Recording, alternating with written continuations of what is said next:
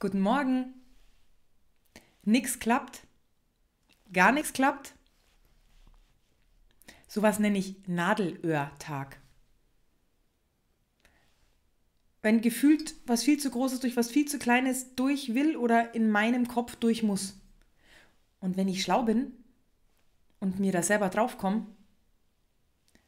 dann trete ich einen Schritt zurück und nimm es leicht und lenke meine Aufmerksamkeit und meine Energie wohin, wo es mir gut tut.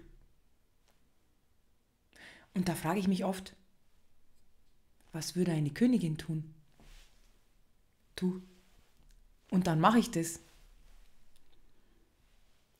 Zum Beispiel höre ich mir dann einen Podcast an und weißt was?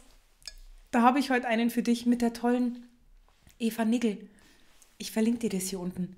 Wir haben eine halbe Stunde geratscht rund ums Thema Frau sein. Mm, war das gut. Bis nächste Woche. Ciao.